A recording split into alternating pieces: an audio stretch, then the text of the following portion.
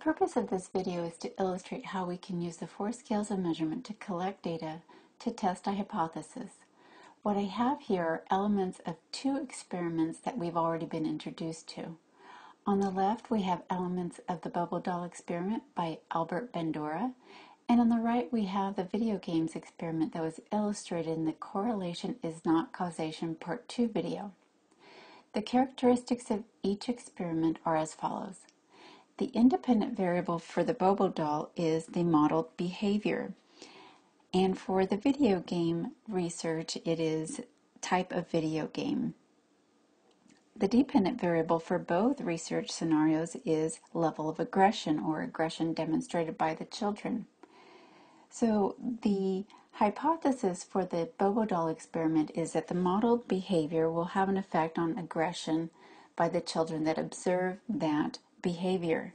And for the video games experiment, the hypothesis is that video, violent video games will have an effect on aggression for children playing that type of video game. Notice that the independent variables in both cases branch off into subcategories, or what we refer to as levels or conditions of the independent variable. For the Bobo doll experiment, the behavior is broken into three categories aggressive, non aggressive, and the control group.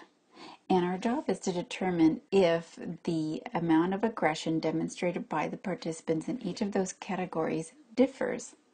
For the video games experiment, the independent variable of the type of video game branches off into two levels or conditions that include a violent video game and a non-violent video game.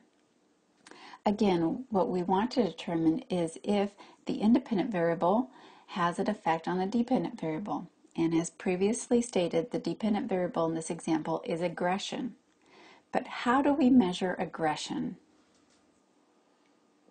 As previously stated, aggression is a hypothetical construct. It is something that we cannot touch. It's intangible. We can't place our fingers on it. So therefore, we have to define it so that we can measure it. And that process is referred to as operationalizing a variable. We're going to use the four scales of measurement to operationalize this variable of aggression.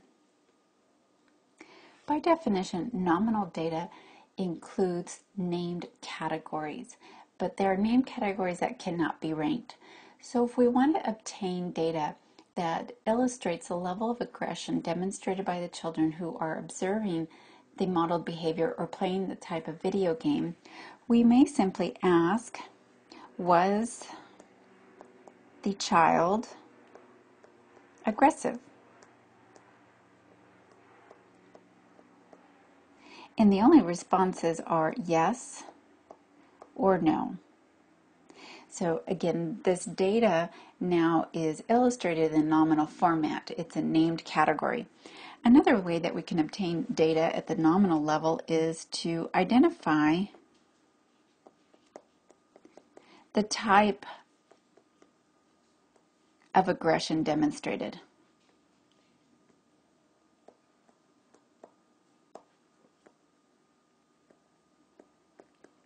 And we could state that there was none, so no aggression, or we could say physical, verbal, or both physical and verbal.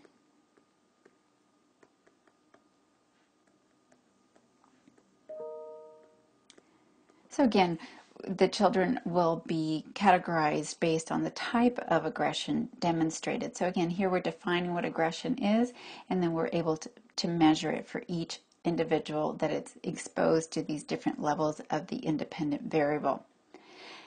Now, ordinal data, the characteristics um, of ordinal include the same characteristics as nominal. They can be named category, but the new characteristic is that it is ranked. So the categories can be ranked. So we could determine the level of aggression for each child and simply say rate the level of aggression demonstrated by each child on a scale of 1 to 5. Let's say 1 is equal to low aggression and 5 is equal to high. Or we could say um, rate the level of aggression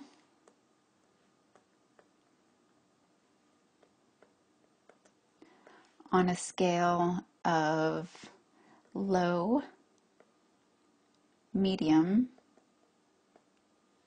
or high. So again, we see that we have named categories and they can be ranked. These numeric values of 1 and 5 are just labels. Um, they're not the same as um, the numeric values we would use to count something. So again, they're just labels. You can think of them as a synonym for that named category.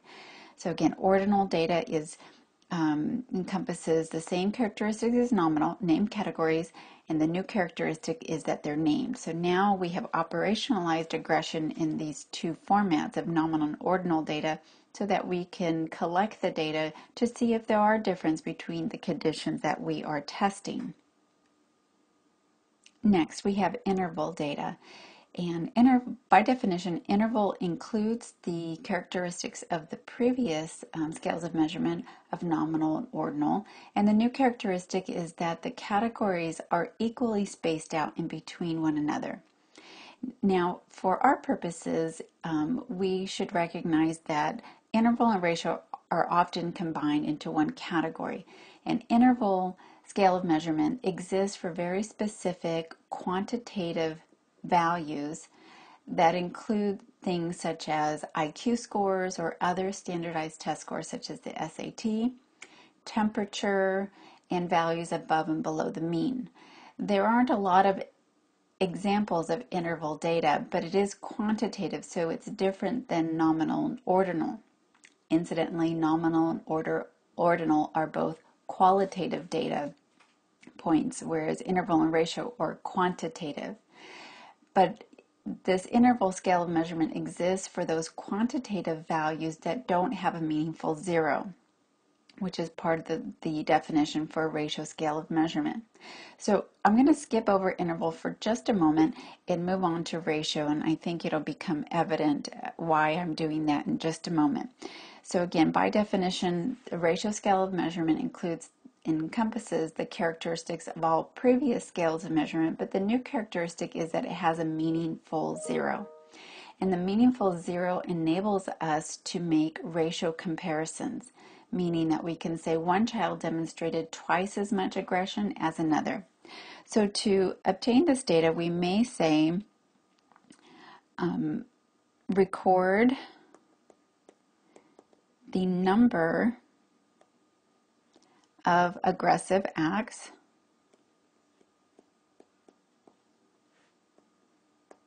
demonstrated by each child. And again, the key word is number. So we recognize that this number line that we're counting or we're using to count would begin at zero. So someone could demonstrate zero acts of aggression, one, two, three, four, so on and so forth. But we couldn't have a negative number. Somebody couldn't demonstrate negative two acts of aggression. So that's what we mean by a meaningful zero. It begins at zero and increases in the positive direction. So if we calculate or collect the data for each child, this will also enable us to calculate the mean of each category, each condition that we're testing. And just briefly, the mean is equal to sigma, which means the sum of x over our sample size. So for each condition, we can calculate the mean once we've generated a ratio scale of measurement for each child or the number of aggressive acts demonstrated by each child in each condition. Let's say, for example, participant B demonstrated their x value. Again, x is just a variable, it's a placeholder for number of aggressive acts demonstrated. And their x value is equal to 5. And let's just say, and I'm making this value up, that the average for the non-violent video game condition was equal to 7. So we can use this data to now convert it into an interval scale of measurement. So the interval, we may say, identify the number of aggressive acts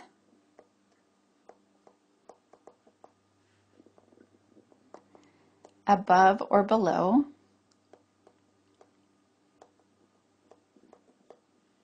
the mean. So the mean serves as an illustration of the norm. How did the group um, perform collectively? And it's one summary statistic to represent everyone in, in that condition.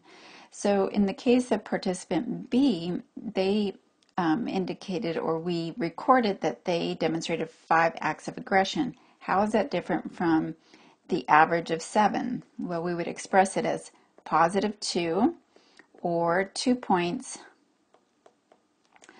above the mean. So it's helpful information because it gives us a sense of how that individual differs from, from the norm or the average um, for that particular condition. But it's not as very helpful in terms of comparing the conditions. It's helpful at the individual level, but not collectively.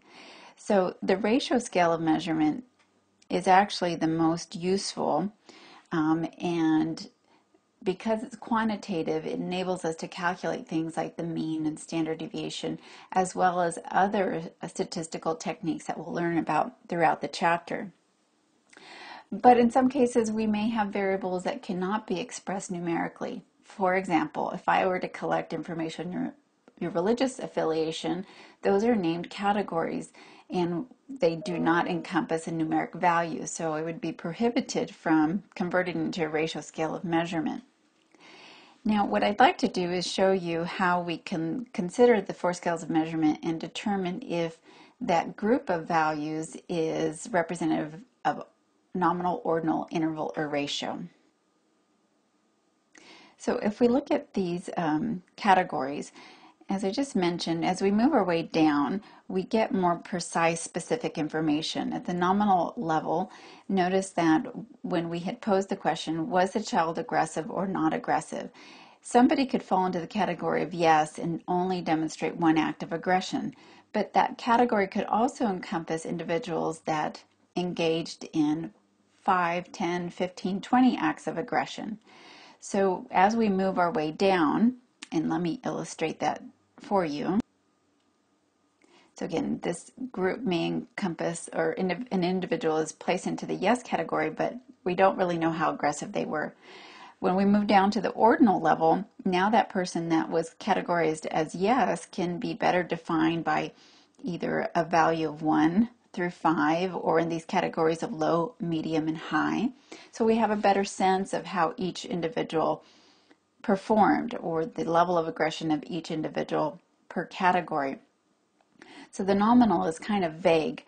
It doesn't give us a lot of specific or precise information. As we move our way down to ordinal, then we have more information. We're able to separate those yes individuals out um, more specifically and more accurately.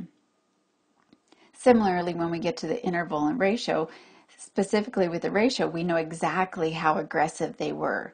And then the ratio will demonstrate in relation to the mean where those individuals reside. So again, as we move from nominal to ordinal interval ratio, we're getting more precise, specific information.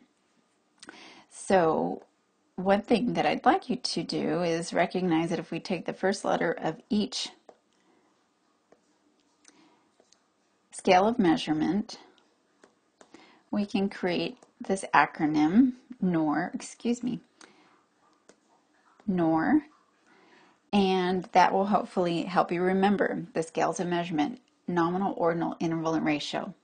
Now, the question I'd like to pose is, what do you think this collection of words represents? Is it an example of nominal, ordinal, interval, or ratio? To help us answer that question, we can consider interval and ratio. As I indicated before, this is an example of quantitative data, whereas nominal and ordinal are qualitative. So quantitative meaning we're working with numbers. These are word categories, so we would conclude that they're not um, an illustration of interval or ratio. Between nominal and ordinal, we would ask ourselves, are these named categories? We've already identified that they are. Are they ranked? And I would argue that they are because, as I just mentioned, as we move from nominal all the way down to ratio, we get more and more specific or precise information. So I would say that the scales of measurement collectively are an illustration of ordinal data. And next, I'd like to illustrate how we can differentiate between discrete and continuous variables.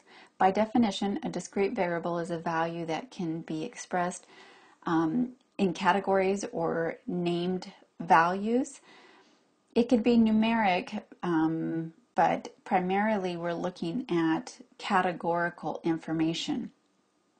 So if we take the nominal example of yes and no, it is not quantitative. So we immediately know that it's a discrete variable. By contrast, a continuous variable it requires that the value be quantitative, numeric, and that it can be broken into smaller portions or it can be expressed as a fraction. So given the fact that the nominal scale of measurement is a word category, it could not be continuous, so it's discrete. Now, ordinal data, we have low, medium, high, or low to high represented by these values of 1 to 5. Again, the 1 to 5 is can be seen as quantitative, but it's not um, inclusive of a meaningful zero, and um, we couldn't express those numbers as a fraction or decimal. We wouldn't have to have a category of 1.5 or 1.25. Therefore, we recognize that again, this is qualitative data, and so this would also be an example of a discrete variable. For the interval and ratio, again, we're going to identify if it's discrete or continuous. I indicated that interval and ratio are quantitative, so it could be discrete or it could be continuous. To distinguish between the two, we would ask ourselves, can these values be expressed as a proportion, decimal, or fraction? So when we express the distance from the mean in how many points above or below, that would be a whole number. And the reason for that is because aggression couldn't be expressed as a fraction. We couldn't say that a child engaged in 2.25 acts of aggression or negative um, 1.5 acts of aggression below the mean. So because it's a whole number, this is considered discrete and finally, similarly with the ratio, it's also discrete. Even though it's quantitative, it's a whole number. It cannot be expressed as a fraction or decimal. And I've previously given an example of when um, a quantitative value, such as number of children, is considered discrete. Um, but if we express that value as an average, then it's an example of a continuous variable. Other examples of continuous variables include things such as time, money, height, weight. Money, again, uh, the electronic um, illustration of money can be infinitely um, reported in smaller and smaller portions. So now we have a sense of being able to differentiate between discrete and continuous variables. And that concludes the demonstration of how we can take a hypothetical construct and use the four scales of measurement to measure and define that variable so that we can test a hypothesis.